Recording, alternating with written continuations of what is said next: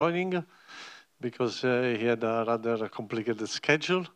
And uh, well, Josh is, um, is at the University of Pennsylvania and uh, in the Department of Ecology and Evolution, and uh, is one of these. Um, I don't know whether uh, recovering physicists, but probably has recovered since a long time uh, because uh, he has ventured uh, in many uh, different areas of uh, also social sciences, and this is what he will tell us about today. So thank you very much, Josh. Uh, Matteo, thank you very much for the invitation. Can you hear me? Can I just see you wave? Yes, yes. Uh, okay, wonderful. Okay, great. Yeah, I'm very sorry I cannot be there in person. Um, I really, uh, I'm very sorry that uh, I'm missing the conference in person, but I'm none, happy nonetheless to share with you um, this unpublished work about um, populations of individuals who are trying to uh, make social decisions in the context of uncertainty. Um, I'm not sure exactly how well it will fit into your thematic um, topic of uh, agents, but it, it is, in fact, a topic about how agents um, come to collective outcomes, but in the face of um, individual decisions with uncertainty. So this is work that is principally developed by um, a terrific and very young graduate student, Guoqing Wang, who's visiting my lab for two years from Peking University. Um, ah, okay. So let me start with this very uh, basic background.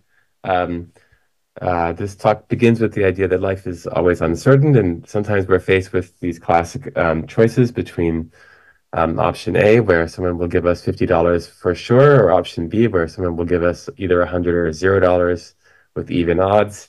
And I have to say, I find this kind of decision difficult personally. Um, and uh, this difficulty was in some sense resolved, of course, by uh, von Neumann and Morgenstern, who taught us how to cope with such difficulties. And they have this very simple idea of um, utility theory, where they say, well, you should not think about the money that you could win or lose, but rather how happy you will be. And they have this idea of a utility function, the satisfaction that you may derive from some material payoff X, um, either $50, $100, or $0. And uh, as far as I understand it, I'm not an economist. Utility theory basically says think about how you feel and do what will make you happy. Um, and so there are several ways um, you might feel about these options. Um, you might prefer the first option, option A, $50 assuredly, which means that you are so-called um, risk averse because your utility for $50 exceeds the combination um, of your utility for zero and your utility for 100 with even odds.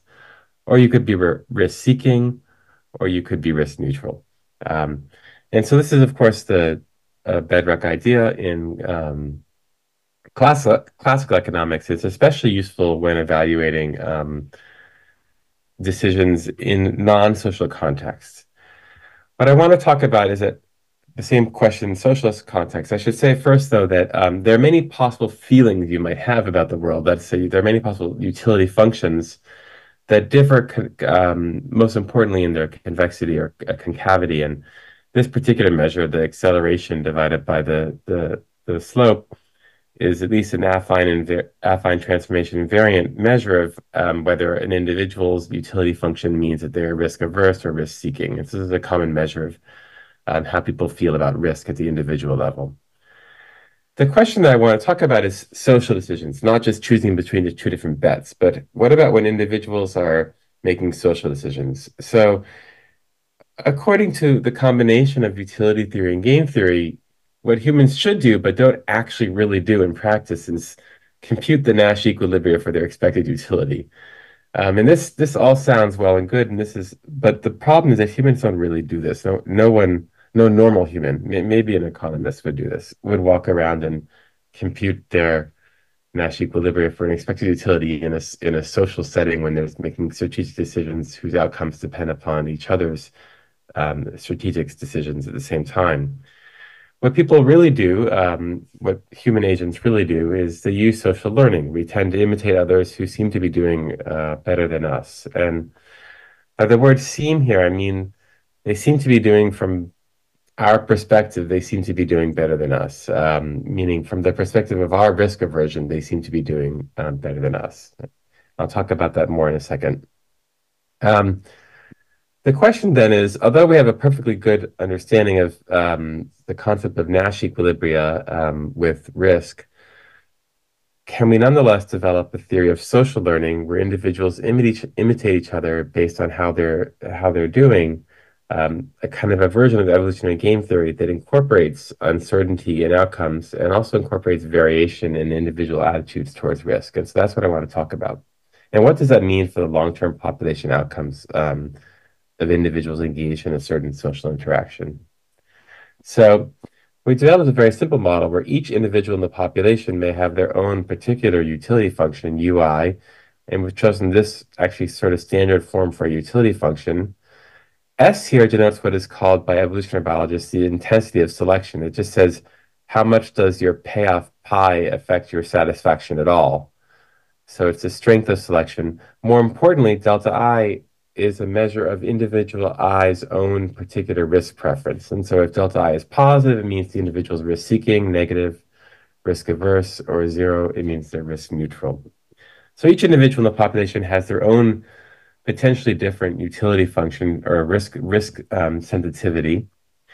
Um, and we have the kind of simplest setup, which is actually a very classic setup in evolutionary game theory, for a large population of individuals playing pairwise. It's a well-mixed population, one-shot games. And so in general, each individual can choose one of two strategies, which I'm just going to generically call, call cooperator defect.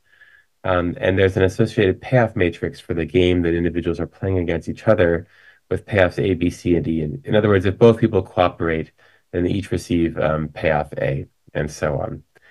And what that implies then is that if individuals in the population have a current, um, if the cooperators in the population have a current frequency X, then the average payoff to a cooperator is AX. A cooperator will meet another cooperator with chance A and receive payoff A, um, chance X and receive payoff A, or they will meet a defector with um, chance 1 minus X and receive payoff B, and so on. So there's an average payoff for a cooperator and a defector in a population composed of um, frequency X cooperators. And this gives rise to what what I what may be in, in evolutionary biologists, this is a very standard equation. I hope it's a it's a it's a standard equation, a, a, an intuitive equation for for everyone in the audience as well. It's how the it's the dynamics of how the frequency of cooperators will change over time. Um, it has the form Sx1 minus x times the difference between the average payoff of the cooperators and the average payoff of the defectors. Um, okay, so this is what is what would be considered completely classical um, uh, imitation or social learning in a population or evolutionary game theory in a population without any um, uncertainty or without any um, risk preferences. What we want to finally introduce now, and this is the, the content of, of the talk, um, is the idea that there may be noise and differential risk um, risk preferences in the population. And the kind of noise that we decided to describe is that although each individual will indeed receive a deterministic payoff pi i from their pairwise interactions with everyone else, um, in often it, it's often the case um, in populations that um, you don't have perfect information about each other's payoffs, and so we have only no one individual has only a noisy observation of another individual's payoff, which makes it complicated for them to determine how they should, um, whether or not they should copy each other's um, strategies. So, in particular, we're going to assume that pairs A, pay, player I's payoff in the eyes of J um, is not, in fact, equal to pi i, but it's just some noisy perturbation of pi i. So, um, J um, sees I as receiving payoff pi i plus some um, sigma ij uh, times psi, some some unbiased uh, standard Gaussian. So people have only noisy information about each other's payoffs. Um, now this noise term sigma ij depends upon players i and i and j, but in, for us we're going to say that it depends only upon the strategies that players i and j adopt. So a cooperator observing another cooperator might have a, a, less noisy or a more noisy um, way of assessing their payoff than a defector observing a cooperator or a defector observing another defector and so on. So Depending upon your strategy, you have different amounts of transparency of, an, of each other's um, payoffs. And then instead of the classical model where player I will imitate player J according to player J's payoff relative to all other players in the population, um, in this setting, player I cannot, in fact, actually observe player J's payoff. They can only observe a noisy perturbation. And so instead of so-called payoff biased imitation, which is the classical way of um, so of developing a model of social learning, we will replace um, payoff biased imitation with expected utility biased imitation. That is to say, player I will imitate player J with a probability that depends upon I's expected utility um, from adopting J's strategy compared to I's expected utility from adopting any other player K's um, uh, strategy. So we replace the actual payoffs pi j and pi k with i's expected utility of the um, of that they would have from adopting those um, strategies.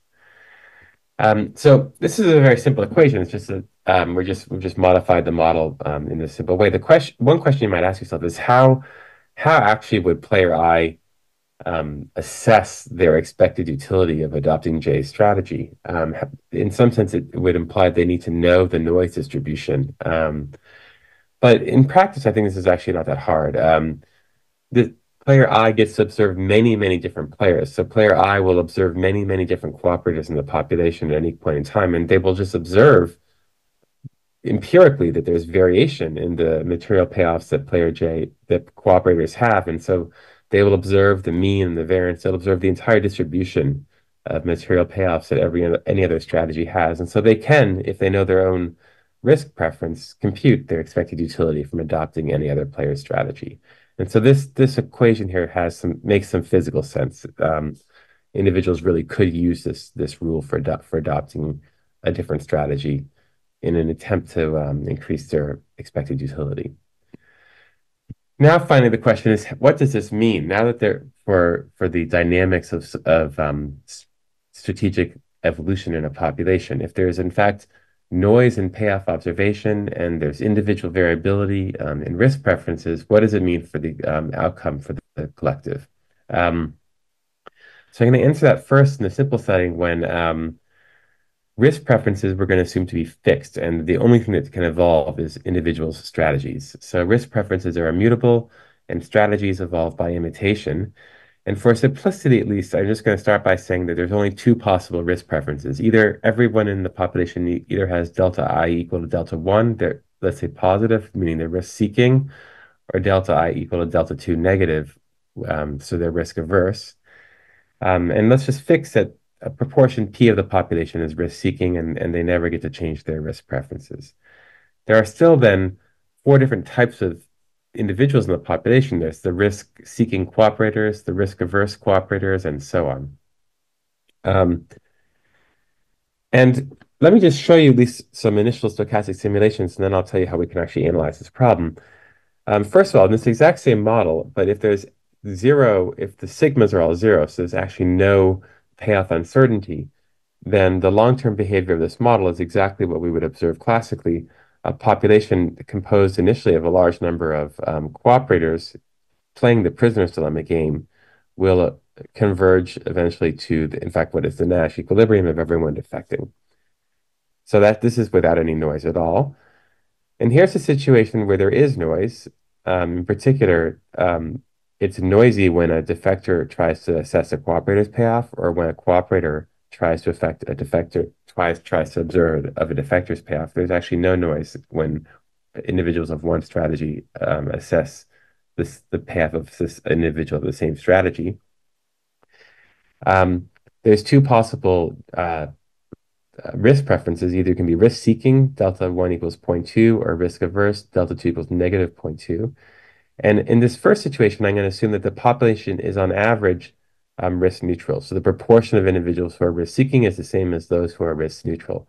And interestingly, and I think this is actually not surprising in retrospect, in a risk neutral population, the behavior of, um, of the strategy evolution is exactly as if there was no uncertainty whatsoever. Um, so at least if the population is on, on average risk neutral, the game plays out and the strategies plays out um, as if there was no uncertainty. What's interesting, and this is actually really the first result in the talk, is that things can be very different when the population is on average risk averse or on average risk seeking. So this is the extreme case of a, of a very risk averse population. They are playing the prisoner's dilemma, but nonetheless, as, um, as you can see here, the outcome is actually bistable. Um, the population, depending upon its initial composition, could could evolve to um, all defection, or it could in fact evolve to all cooperation um, which is a very non-classical outcome for the prisoner's dilemma. Or if the population is risk-seeking, the population will always evolve to a stable mixture of cooperators and defectors, um, which again would never happen under a standard prisoner's dilemma, and somehow is the result of uncertainty and um, variation in risk preferences in the population. So we can actually analyze this problem um, uh, uh, more or less completely um, we can work out what is the chance, um, based on the rules of imitation that I specified, that in one, this, so we're actually going to initially imagine a, a um, finite population um, stochastic process. What's the chance that the probability of cooperators X will increase by 1 over n in one imitation event?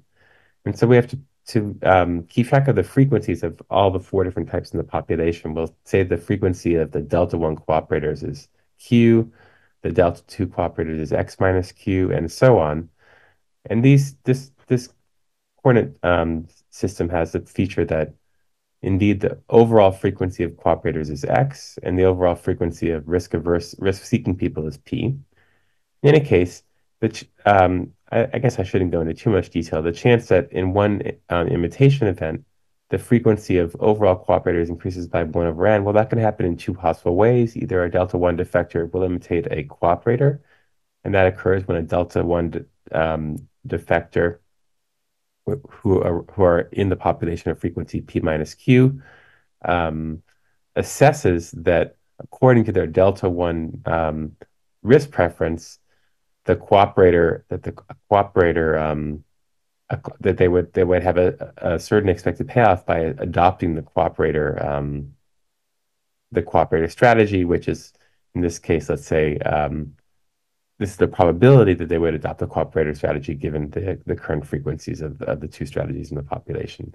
It, the the X could also increase if a delta two type, um, a risk averse um, defector imitates a cooperator, which um, occurs with this probability. So we can work out all these four possibilities that the cooperator frequencies will increase or decrease by um, one over n, or that the proportion of cooperators who are risk seeking will increase by one over n. And that and then taking the limit of a large population size and assuming that um, selection is weak and risk preferences are small, we get this system of ODEs, which has a really beautiful um, structure that this first ODE has x dot, the frequency of cooperators, is s times a bunch of stuff. And the second um, equation is that q dot, um, the frequency of cooperators who are risk seeking, evolves at rate one. And so it, this is a fast equation relative to this one. So there's a natural separation of time scales, which means that q will immediately um, approach uh, px much more quickly than the frequency of cooperators will change. So that's say that the frequency of the two types will um, uh, uh, the frequency of risk aversion in each strategic type will immediately um, equilibrate to the frequency of risk aversion in the whole population. And so we get this as a result, we only get a single ODE that describes the whole frequency of cooperators in the population. And now this this this equation is um, very similar. I don't know if you guys can see my cursor here, but it's very similar to the, to the classical equation. It has pi c minus pi d, but it's modified by this term delta bar VC minus VD, where delta bar is the average risk preference in the population. And VC is sort of the average uncertainty when a random individual observes the payoff of a C type of a cooperator individual. And likewise, VD is the average uncertainty of observing um, a D type individual. So we can see immediately that if delta bar is zero, if this if the population is on average risk neutral, then this really will behave like a classical um, like a classical uh, system.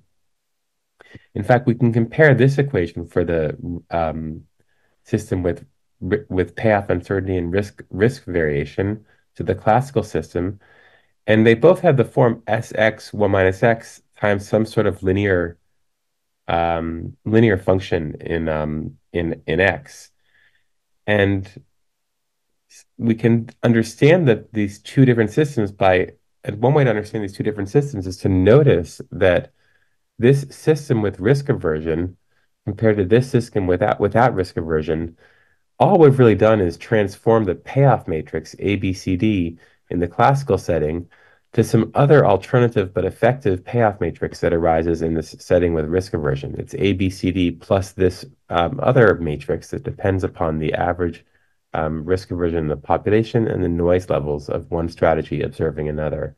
And so this, this equation here really helps us understand all of these results. What we realize is that this is under this transformation of the effective game that people are playing um, when there's risk aversion, this prisoner's dilemma game, although in fact they are in fact playing a prisoner's dilemma game in all these cases, because of the risk when there's no risk aversion, um, sorry, when there's when it's risk neutral, they still are playing a prisoner's dilemma game. But when they're very risk averse, they're playing a different game in effect. They're playing a stag hunt game, which explains why um, there's bistability. And if they're very risk seeking, they're effectively playing a snowdrift game. And so we can understand the dynamical outcomes here by realizing that risk aversion in the population sort of changes the nature of the game that people are playing. Okay, my last few minutes, I want to talk about um, something a little bit more exciting in some sense. So, in this setting so far, the risk preferences of each individual have been entirely fixed. Um, that's to say, every individual was either risk averse or risk seeking, and they could update their strategy if they thought it was going to increase their expected utility. Um, what happens, however, if both the strategies that people um, play, but also even their risk preferences co-evolve? And this is actually much more realistic. I mean, people may have certainly my own risk preferences have have changed over time as I've gotten older. Um, um, and there are a lot of empirical studies that show that um, individuals who are wealthier, in fact, even just a shock in wealth, some sort of quick injection in cash, um, tends to make them uh, less risk averse or even more risk seeking.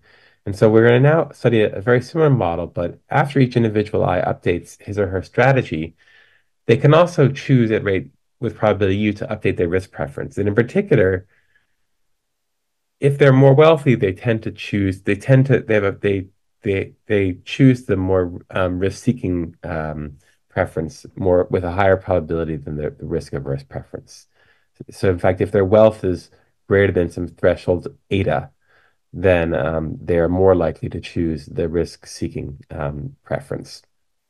And there are still four types of individuals, the risk-seeking cooperators, the risk-averse cooperators, and so on. But the frequency of um, the risk-seeking types is no longer static. It's rather dynamic in time. It's still conveniently true that the, the this this parameter, this this variable q is fast, and so we are left with only a two-dimensional ODE that keeps track of the overall frequency of cooperators in the population and the overall frequency of risk-seeking individuals in the population.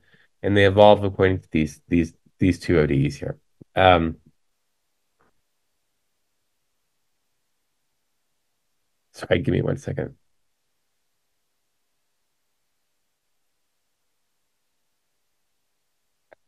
Okay, and so here's the results um, of um, what happens when there's coevolution of strategies and preferences in the in the population. What we observe, and this is a population playing the prisoner's dilemma games, that um, on the left here are, is an infinite population. On the right is in a finite stochastic population, the finite population with the stochastic process. What we observe, and this is was actually very surprising to me, is we only have two types in the population, but we observe that there can be um, oscillating but decaying um, dynamics to a stable composition of um, types in the population. Or in other regimes, there can be even what seem to be persistent cycles. And in fact, we can prove there really can be limit cycles um, in the in a in a in a um, very simplified prisoner's dilemma. In fact, we can get the we can derive an exact condition under which there will assuredly be limit cycles. Um, and let me just sort of quickly walk you through the intuition here it kind of makes sense that there might be limit cycles, um, even stable stable limit cycles in this setting. Um, the reason why is that if you are in a state where everyone in the population is defecting um, well, let's start up here. If you're in a state where, where everyone in the population is, is defecting, but they're risk seeking, since everyone is defecting, the population has very low payoff. Um, and but they're currently risk seeking. But when people have very low payoff, we've already assumed that they will tend to, if you have low payoff, to convert to being a more risk averse individual. So at a slow rate, because U is less than one, a risk defecting, sorry, a, a full defecting but risk seeking population will convert to a full defecting risk averse population.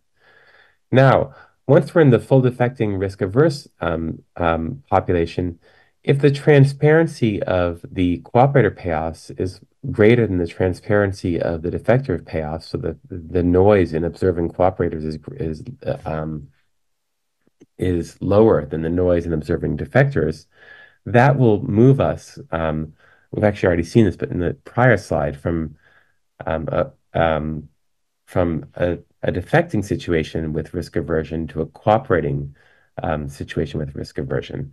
And once we have a very wealthy population, everyone's cooperating, but they're risk averse, there will again be movement towards risk seeking behavior um, because wealthier individuals tend to tend to um, convert to risk seeking behavior and so on. And so, under the appropriate conditions, which I've outlined here, we can prove there really will be a limit cycle. Um, this last condition here is actually also kind of interesting. This is the condition that ensures that the internal equilibrium is unstable. And what it means is that the rate at which up, risk preferences are updated has to be sufficiently small.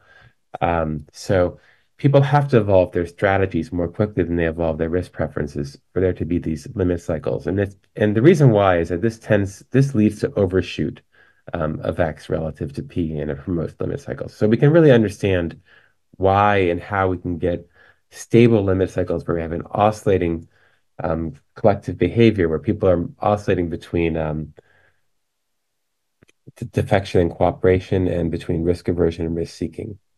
Um, so it turns out that um, those are not the that's not the only dynamic that can occur when there's a coevolution of risk preferences and strategic behaviors. Even in the prisoner's dilemma, there can be limit cycles.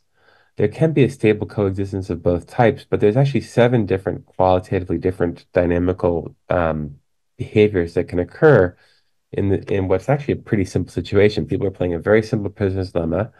Um, but there's uncertainty and chaos.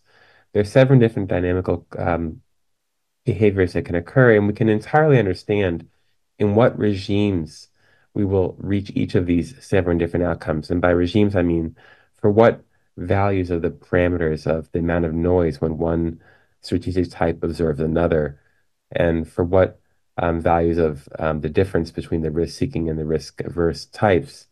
Um, will we fall into each of these different dynamical regimes? And I guess the bottom line here is that, and this is close to where I want to end, um, we this adding risk aversion um, and adding uncertainty to uh, the standard framework of evolution of social imitation leads to a, a huge range of um, diverse dynamical outcomes, including things that actually can never occur with just two types, like like persistent oscillations of two different types. Um, in classical evolutionary game theory. And nonetheless, it's not un, un, uninterpretable. We can really understand um, how risk aversion um, and uncertainty will modulate um, social behavior, um, at least in these simple um, game theoretic models. And so I'm going to end right there. The basic conclusions are that uncertainty can sort of turn the social world upside down, meaning it can it can transform any one game, any one sort of form of strategic interaction into any other one, effectively changing the path matrix of the game that people are playing. Uncertainty can make the social world revolve around. It can induce limit cycles, um, even though there's only two strategies in the game, which is something that can never be observed um, classically. But one general rule, which actually even might have some policy implications, is that generally speaking, in all of these situations, transparency helps cooperation when the population is predominantly risk averse, which is the, the case in the real world. Um, and we've seen that when when um, it's more easy to observe the cooperator payoff, this actually facilitates the evolution of cooperation in risk averse settings. And this kind of makes this this kind of has some implications to me. It means that loosely speaking, it means that if there is some way for you to sort of broadcast um, in a verifiable way what your payoff was, then this would be to, to your advantage as a cooperator. So if you're if you're playing uh, cooperatively in a collective action problem or in a prisoner's dilemma, it's good for you to broadcast the, in a verifiable way what payoff you have. So even if you have a very low payoff, it's good for you to broadcast what it is. And you'd have to have some sort of mechanism of broadcasting this in a way that can be verified. But um, and there are mechanisms like this. I mean, there are universities, for example, that publish salaries, um, or even there's voluntary sharing information about salaries. And this suggests that um, if people who are pro-social um, broadcast how well off they're doing, this is in in the end going to typically help pro-sociality um, spread in a population. So I think I'm going to stop there, thanking um, my student Guocheng Wang, who really developed most of the key ideas here, but also of course thanking Matteo and ICTP um, for for hosting me even from a distance. Thank you very much. So Oh, it's very interesting. Sure there are questions. So, so if not, I, I think I also have a question. So it looks like uh, the way you put noise uh, or this observation noise is that, of course, uh, you know the payoff of your strategy. You don't know the payoff of the other strategy, right? And uh, so I was wondering what this uh, means uh, if you have other games like Battle of the Sexes, where essentially you have asymmetric, I mean, it's a coordination game, asymmetric coordination game. So did you study also these other games or can you have?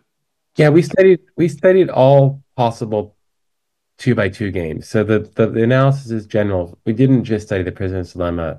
well, actually I can show you, Matteo. Um, so here's, for example, this like a snowdrift game and and oh, sorry, I'm sharing my screen, but you can't see it. But yes, the short answer is yes. We we we analyzed all possible two by two games, including Battle of the Sexes, coordination, and anti-coordination games, and there you can get again get cyclical behavior, really like non-classical behavior if there's noise and observation of the other of other people. Um, but you're but the key question I think you're asking is we assume there's noise in observation as opposed to as opposed to noise in the actual payoff you see you receive. Is that what you're and that that actually is an important choice that we the the kind of noise that we were discussing is there's uncertainty in in um, knowing how other people are doing exactly. Um, we're kind of separately and starting to analyze the other problem, which is when the actual payoff you receive is itself noisy. Um, and that leads to actually fairly different dynamics than noise, noise and observation. So both of those are actually very different problems um, with different behavior. Okay, thank you very much. So I think we we thank you again, uh, uh, and we pass to the next uh, uh speaker.